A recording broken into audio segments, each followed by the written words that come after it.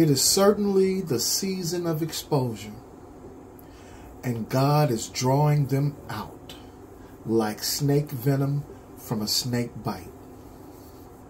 But they all have this thing in common. They love and worship the world and the things that are in it. This is judgment on false Christians and false preachers, and also a wake up call for those that follow them and for those that want what they want and seek to have what these demonic preachers have. This is God trying to save you. Love not the world, neither the things that are in the world. If any man love the world, the love of the Father is not in him.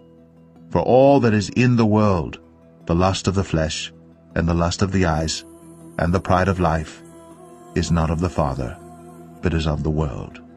And be not conformed to this world, but be ye transformed by the renewing of your mind, that ye may prove what is that good and acceptable and perfect will of God. Ye adulterers and adulteresses, know ye not that the friendship of the world is enmity with God? Whosoever therefore will be a friend of the world is the enemy of God. Pure religion and undefiled before God and the Father is this, to visit the fatherless and widows in their affliction, and to keep himself unspotted from the world.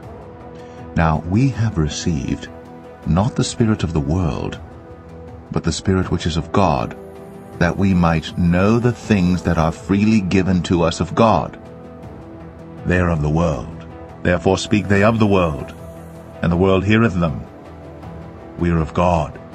He that knoweth God heareth us. He that is not of God heareth not us.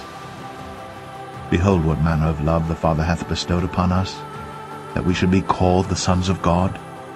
Therefore the world knoweth us not, because it knew him not. If the world hate you, ye know that it hated me before it hated you. If ye were of the world, the world would love his own. But because ye are not of the world, but I have chosen you out of the world, therefore the world hateth you. I pray for them.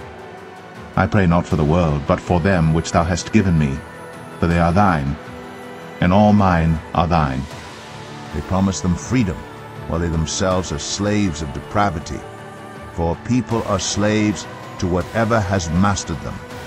If they have escaped the corruption of the world by knowing our Lord and Savior Jesus Christ, and are again entangled in it, and are overcome, they are worse off at the end than they were at the beginning.